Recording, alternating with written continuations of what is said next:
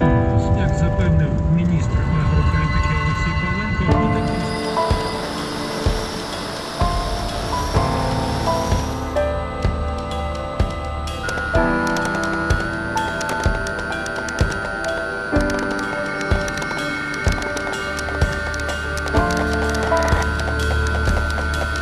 Усе це вони бачили на власні очі. Кожен із них пройшов крізь пекло війни. Хтось здобув, хтось втратив.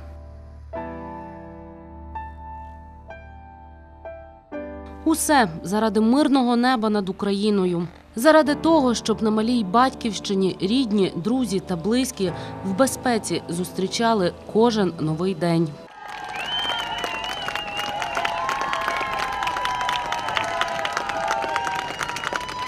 Завдяки подвигу кожного з них у мирному Хмельницькому 23 лютого подоляни вітали своїх героїв. Бійці 8-го окремого полку спеціального призначення повернулися зі сходу. Герої не вмирають! Вмирають вороги! Герої не вмирають! Вмирають вороги! Пройшовши випробування пекельним Дебальцевим, кожен із них звикає жити по-новому. Там 23 години на сутку міни не зупинялися падати. Там все було, і гради, і міномети, і що не хочете. А тут тиша, мир, спокій і найдорожчі люди.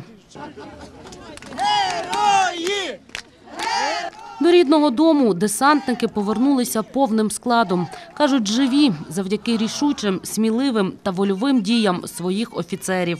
завдяки одному з наших підполковників чи полковник вже. е, Це було, він вивів з- Дебальцева певну групу, групу людей, завдяки, завдяки кому вони залишились живі і без, без втрат. Рідні, близькі, побачать своїх чоловіків, синів. Своїх героїв, котрі, незважаючи на усі тяготи війни, що пережили в пекельному Дебальцівському котлі, не втрачають бойового духу. І під кулями, і в мирному Хмельницькому вірять у те, що життя триває. Самі розумієте, життя не зупиняється. І хтось жениться, і в когось народжуються діти. Життя продовжується. Оксана Чушкіна для інформаційного випуску.